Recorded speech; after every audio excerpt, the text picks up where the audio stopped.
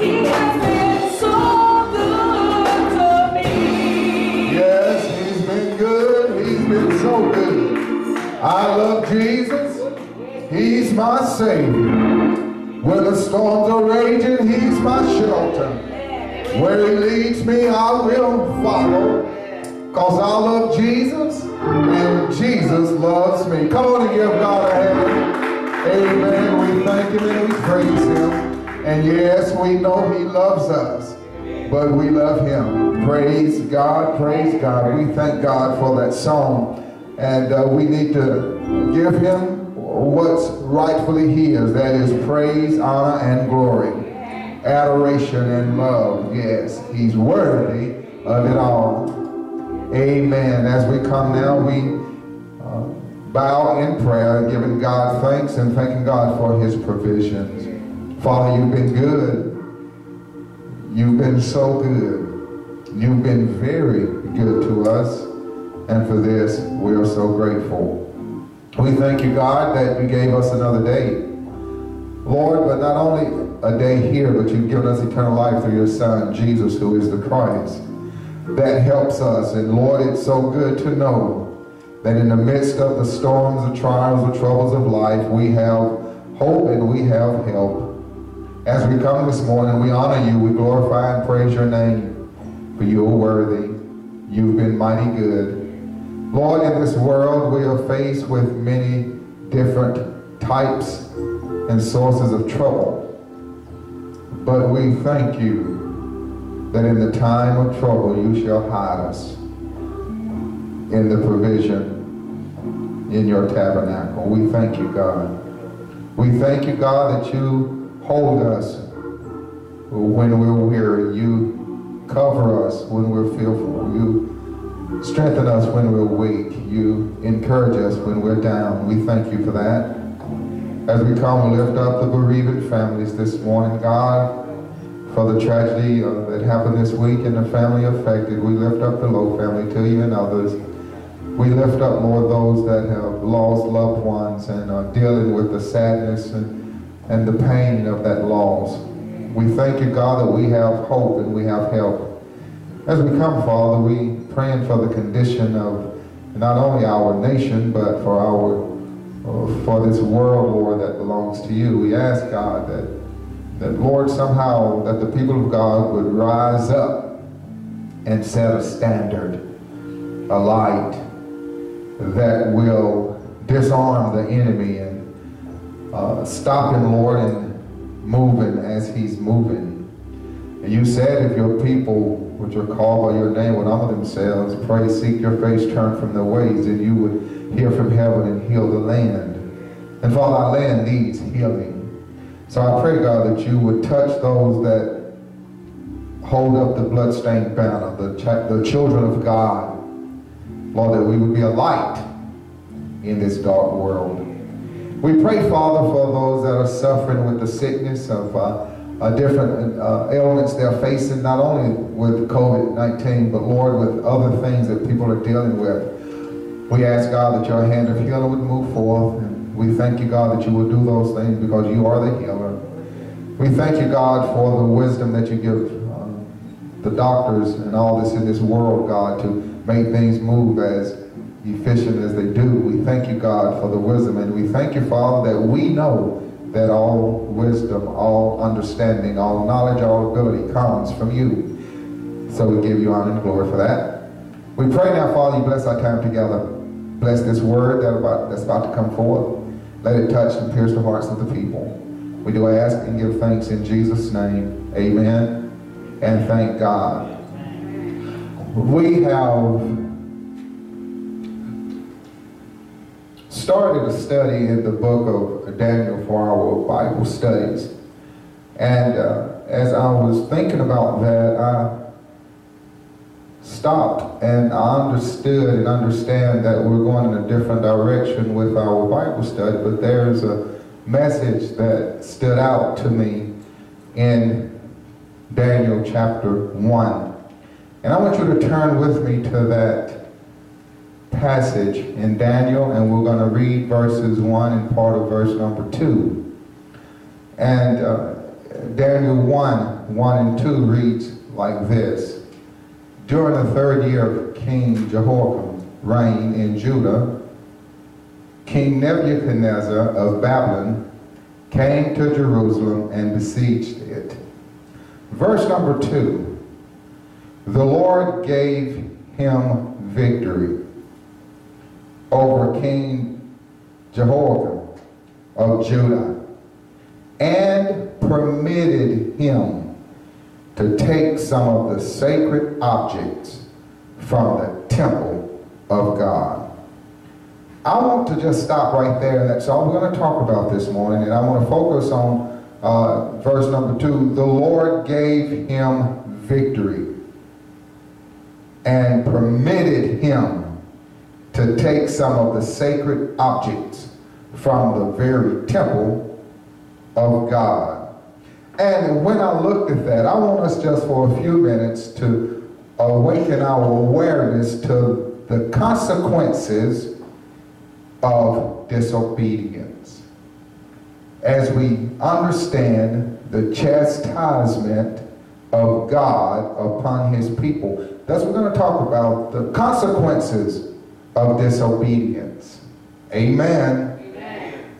My brothers and sisters, we got to realize as children of God that there um, is a God that sits high and looks low. There is a God that judges all things. I, I know that it's hard to believe that sometime as we observe the evil and the different things that we experience in life and in this world. But the truth is that yes, there are some consequences to disobedience. Listen, be ye warned that God will judge our sins. There is a chastisement, a punishment that comes to the people of God from the hand of God because of their disobedience. I was listening to the Sunday school lesson this morning and it talked about the reason for um, captivity and the different things that the people of God found themselves in. And the number one thing that always stands out is disobedience to God. Amen.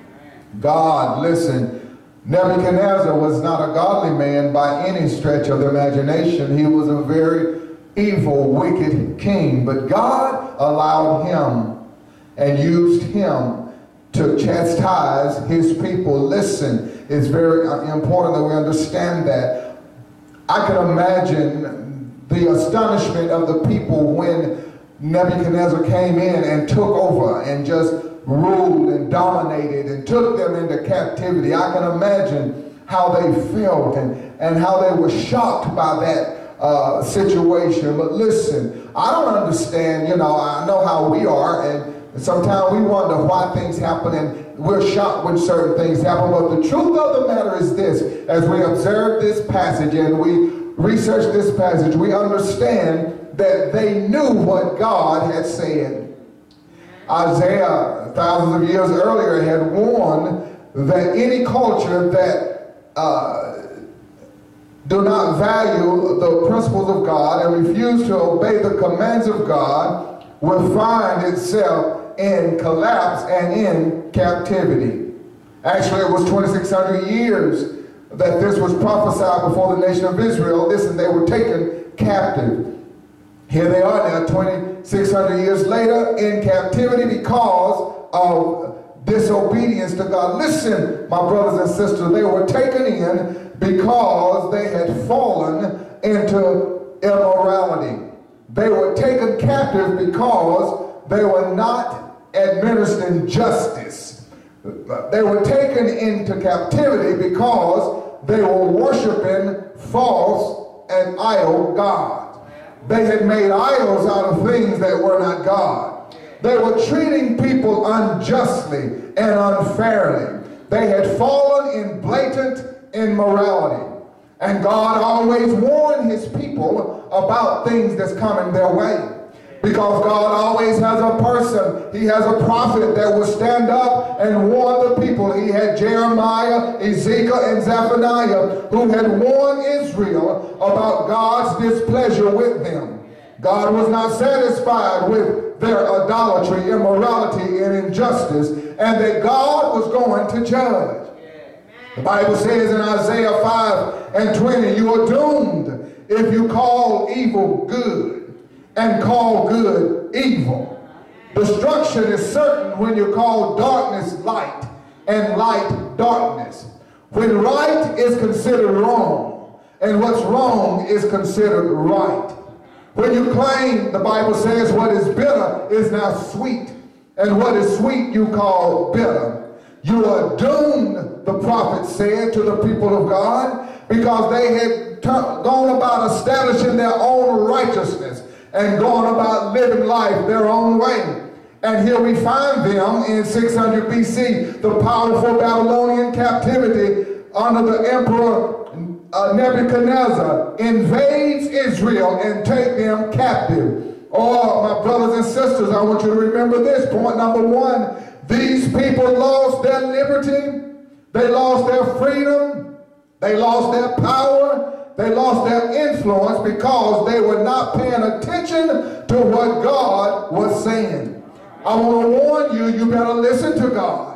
You better listen to the word of God. When the word of God comes forth, you better take heed to the word of God because God sees everything you do and he knows everything you say. God is sitting high and looking low. They lost their freedom. They lost their liberty. They lost their power. They lost their influence. They lost their prestige. They lost their position because they failed to pay attention to the voice of God.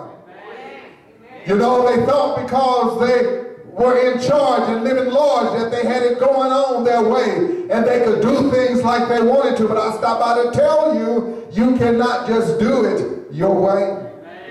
Psalms 82 tells us this, God presides over heaven's court and he pronounces judgment on the judges. Listen, he's talking about the righteous ones. He's talking about his children. I know we want to look at the world and we want to criticize the world. We want to put down the world. We want to blame the world for all the problems. No, no, it's not the world's fault. Listen, if the people of God would be a light, then darkness would not prevail. Have I got a witness here? Just think about it when you walk into your own house at night. When you turn the light on, what happens to the darkness? The darkness is dispelled by the light. My brothers and sisters, the people of God got to let the light shine if going to change and, uh, and, and, and lighten the way. If going to take away the darkness, we've got to turn on the light. If you're sitting with somebody, tell them turn on the light. God presides over heaven's court and pronounces judgment on the judges. He's not talking about the world. He's talking about his children. How long will you judges? How long will you hand down unjust decisions? How long will you show partiality? How long are you going to be prejudiced? Give fair judgment to the poor and the orphans. Uphold the rights of the oppressed and the defense. This is the word of God, Psalms 82. Asaph is writing this. This is Psalms 82. He said, listen, give fair judgments to the poor and to the orphans. Uphold the rights of the oppressed and the defenseless. Rescue the poor and the helpless. Deliver them from heartless, evil people. Says because the leaders are foolish and they lack understanding. People are living in dark times. Listen to what he said, in all the foundations of society are unstable to the core. Why? Because the people of God will not live the life of God before this world we're in. Because the people of God are doing their own thing. The people of God are not being an example, being the light. They're not being the righteousness of God in this world. The people of God are being prejudiced. They're unjust. The people of God are oppressing those that they should be lifting and helping. He said, because the leaders are foolish, they lack understanding. People are living in dark times. And my brothers and sisters, if that's not the world we're living in, then I don't know what it is. Listen, they lost their liberty. Number two, God does not want us to be indifferent to the plight of the disenfranchised and the marginalized. Listen, you've got to stop looking down on others. You've got to stop holding your thumb on others. You've got to stop pressing others down. You've got to start lifting others up. You've got to start lifting your voice. Silence is not the answer. Silence is consent. Listen, you got to speak up against the injustices in this world. You got to stand up for those that's being oppressed, that those are being put down, that those that's being misused and abused, those that's being prejudiced against. We have a responsibility to God, and God expects us to do the right thing. And I want to tell you something. If you don't do the right thing, God is going to judge you. My brothers and sisters, God is very concerned with the way we treat other people. God is very concerned with the way we treat each other. As a matter of fact, God is concerned about everybody. Jesus said in Luke 4:18, when he came and opened the book, he said, the Spirit of the Lord is upon me because he has anointed me to preach the gospel to the poor. He has sent me to heal the brokenhearted, to proclaim liberty to the captives and recovery of sight to the blind. Sent me to set at liberty those who are oppressed, to proclaim the acceptable year of the Lord. My brothers and sisters, it's time for the people of God to come down from their high place, to come off their high horse, and come real with God. Because God sees what you're doing. God understands the motives in your heart. Because of this, my brothers and sisters, God allowed Nebuchadnezzar to come in and chastise his people. God allowed Nebuchadnezzar to come in, and that's what he did. He took them captive, and they were in captivity for 70 years. And look at what he did. He allowed them, he allowed Nebuchadnezzar to take some of the things, the sacred things from the temple of God. And he placed those things and put them in display in his pagan temple, making a mockery of God. Listen, my brothers and sisters, because of our attitudes and actions, we see the world now making a mockery of God. And we want to cry out to God and say, how long and why God? But we need to stop and look at ourselves because God has already told us what to do. And number three, I want you to understand that God oftentimes uses evil people, as he does here, pagan leaders, to discipline his own children. It strange how God will allow someone evil and wicked to bring and to rule over his people? Nebuchadnezzar wasn't the first one. He did it with Pharaoh. He did it with Cyrus. He did it with Darius. And God will do it again. And I want to tell you, yes, we find ourselves in that place under the chastisement of God. And listen, you got to be careful, my brothers and sisters, because I want to tell you there are consequences to your disobedience. Have I got a witness?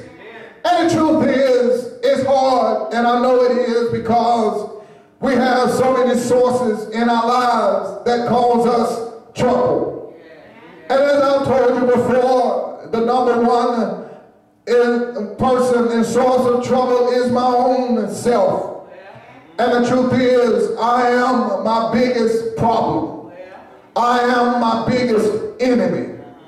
I don't know about you, but I cause myself more heartache, more pain, more grief because of dumb and stupid decisions that I make. But I got to tell you, the reason is because we still, my brothers and sisters, have something that's called sin. There's a sin nature that all of us have. And regardless of how you want to look at it, we all have faults, flaws, and failures. Have I got a witness there? I don't care how right you try to be. Because of the sin nature that we have, we all still have faults. As I told them on Wednesday, we're living in a broken world. When sin entered in, it affected everything in this world, including me. And I have faults, flaws, and failures. And the truth is, we fail to look at ourselves. We want to blame everybody else. We want to put the blame on someone else. But the truth is, most of the problems we have, we cause ourselves. Because we got to realize that we do have a sin nature. Paul made it clear in Romans 7 when he said, and I know that nothing good lives in me, that is in my sinful nature. Paul goes on to say, I want to do what is right, but I find myself doing what is wrong. I want to do what is good, but I find myself not doing what is good. I don't want to do what is wrong, but I find myself doing what is wrong. He said, I've discovered this principle of life that when I want to do what is right, I inevitably do what is wrong. He said, I love God's law with my heart, but there's another power within me that is at war with my mind. He said, this power makes me a slave to the sin that is still within me. Paul goes on to say, what a miserable person I am. Who will free me from this life that is dominated by sin and death? But I want to tell you, God in his grace gives us the answer. And Paul says in the 25th verse, thank God. The answer is in Jesus Christ our Lord. I want to tell you, my brothers and sisters, but the biggest problem is ourselves. Then we have society. And there's this world that we're living in. First John 2 says, do not love this world other things it offers you. For when you love the world, you not have the love of the Father in you. For the world offers only a craving for physical pleasure, a craving for everything we see, and pride in our achievements and possession.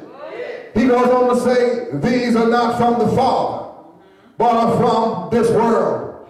And I want to tell you, this society is engineered so because of the God of this world that it causes us to, and it distracts us from the presence and the principles and the plane and the plan of God. So you got to be careful, my brothers and sisters. We have so many things coming against us that causes us to fall under the chastisement of God. Not only do we have self-sin, I mean self and society, but we also have Satan. Have I got a witness here? You know, many want to say the devil is not real, but I stop by to tell you the devil is real. First Peter 5 and 8 says, stay alert. Watch out for your great enemy. Uh-huh. And he says the enemy is the devil. He said he prowls around like a roaring lion, looking for someone to devour. Oh, In other words, the devil is out to destroy you. Jesus said the enemy comes not for but to steal, kill, and to destroy. But he said, I've come that you might have life and might have it more abundantly. Have I got a witness here? So we need to be reminded of the fact that, yes, there's some things working against us, self, society, and Satan. Uh-huh. And someone said, if you wake up in the morning and you don't meet your, if you don't meet the enemy head on, then you and the enemy is going in the same direction. Oh, so I want to tell you, I ask you this morning, do you find yourself face to face with the devil? Or are you walking hand in hand with him? Have I got a witness here? And because of self, society, and Satan, we find ourselves, yes, walking in contrary to the word of God. And we find ourselves sometimes disobeying God. And uh, yes, because of that, God has a standard and God allows, as he did with Nebuchadnezzar, he allows things to happen in your life. And I want to tell you, when you find yourself in a bad situation, when you find yourself, yes, in prison to the enemy and captive to the things of his life, I want to tell you now, as a child of God, you don't need to change your direction and your mind towards God understand you need to stop asking God, why me? Why me? But you need to know that God is with you. And what I want to tell you now is yes, you may be under, yes, some problems, pain, and pressure because of sin and God's chastisement. Because, yes, there are consequences to the actions we take. And uh, yes, we find that, yes, they lost what they had because they disobeyed God. But I want to encourage you as a child of God, you should never leave, yes, with your place in, yes, down, and your face in the sand. You don't need to leave with your head down, but you need to leave with your head up. You need to look up to the hill from which coming to your help because God is still the source of our substance.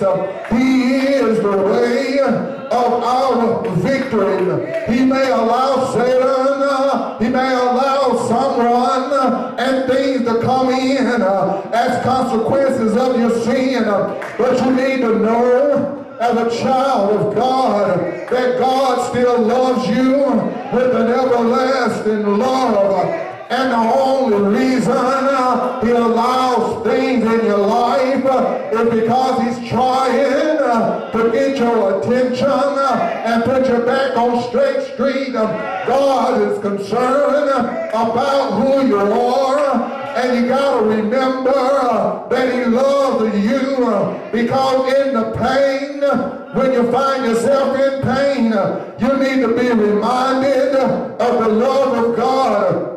And when you find yourself uh, under the pressure of sin uh, and the consequences of that sin, uh, you need to look up to God and know that God loves you. Uh, and you can, if you trust him, uh, know he's going to work it out. Uh, I don't know how long you got to stay in that place. but when you come out of that place, you'll be where God wants you to be. And you got to learn uh, to trust him when you can't trace him. Uh, you got to learn uh, to hold on when you can't see him. Ain't God all right? You got to learn to listen when you can't hardly hear and watch when you can't hardly see. And you need to remember that God said that he's always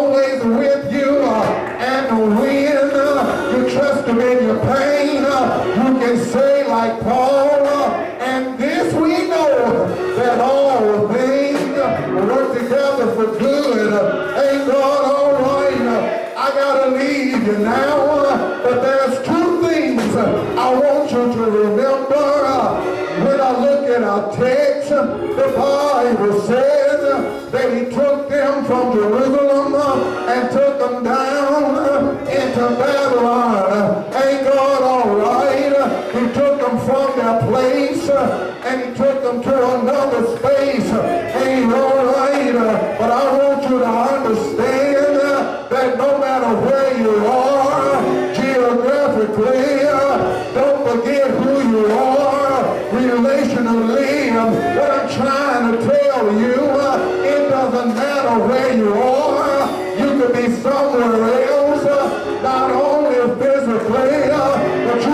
Be someone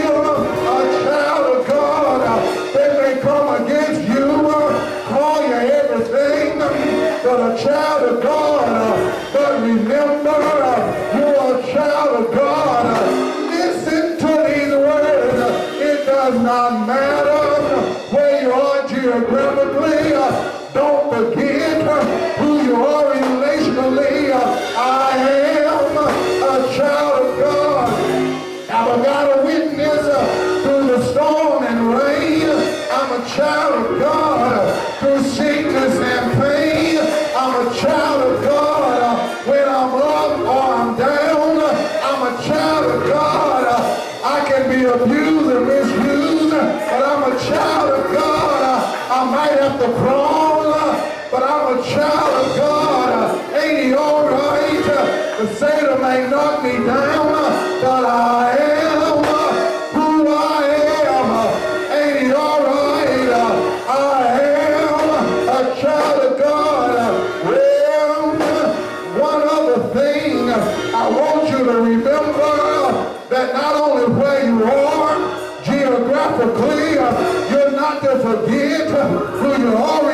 relationally. Number two, as you're going through, don't allow the label that people give you to become your identity. Have I got a witness? The Bible says that yes, the chief eunuch, he took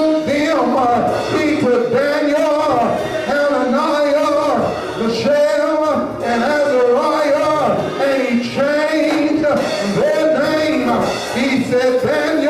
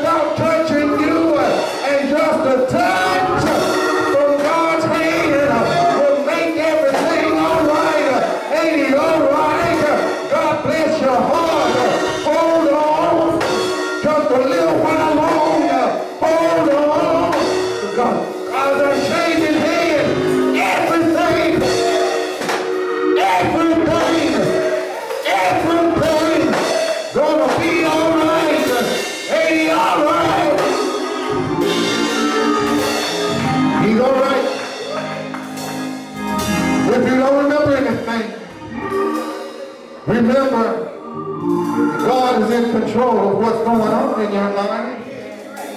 And it doesn't matter where you are right now.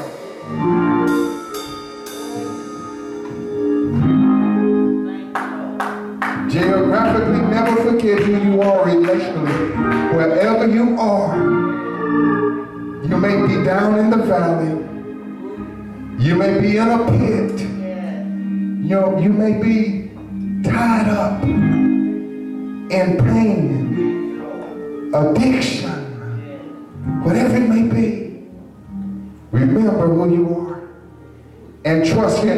are. He's able. And never let, never allow the label people give you to become who you are. God made you more than that. You are a wonderful creation. You are a child of God.